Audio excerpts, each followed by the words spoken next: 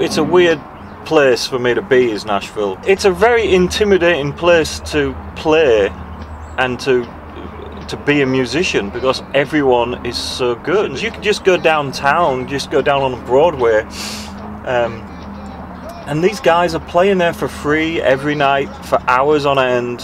I ain't even heard of any of them, but I mean, they're, they're all incredible. And there's one young guy, uh, Daniel Donato, who plays at Roberts, who is like 17 or 18 and he's he's incredible. He's the sort of guitarist i see and it, it makes me want to give up because i just think you know i was playing with lego when i was his age and and he's on stage tearing it up and being incredible. But you know i i guess i can't look at it like that. I've got to think that it makes me want to try harder. Um, it, but still it's very intimidating. Everyone's a singer everyone's a bass player everyone's a guitarist you know everyone seems to have their own thing going on.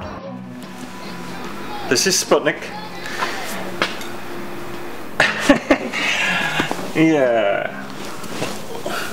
So, uh, a collection of x-rays, and I love little stuffed toys, I love all these little teddy bears.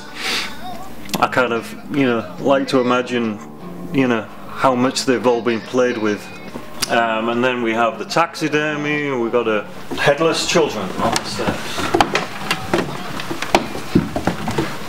I don't find it creepy at all. I, I find it, you know, it's just interesting. I'd rather live in a in this little my weird surroundings than live in a, a beige, you know, boring box. There's lots of similarities between Britain and, and America, and there's there's there's a lot of um,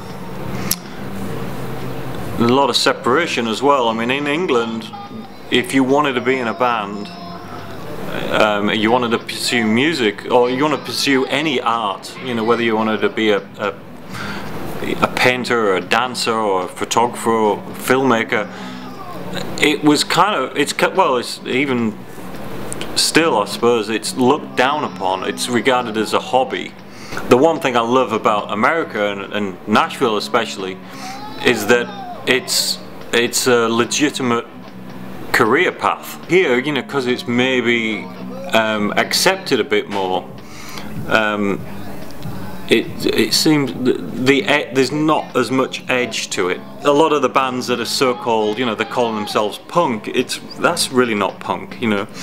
Um, punk was punk was a a time, you know, there was a time in England when we were going through a lot of shit. You know, kids didn't have a voice, and you know, the youth didn't have a voice, and they expressed themselves through music, and it was very, it it meant a lot more than just the music itself.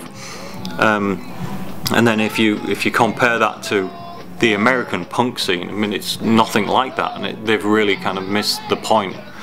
So yeah, America has a lot more encouragement for people to be in bands and to follow their dreams, but the, there seems to be something a little missing. Hopefully I'm kind of meeting it somewhere in the middle.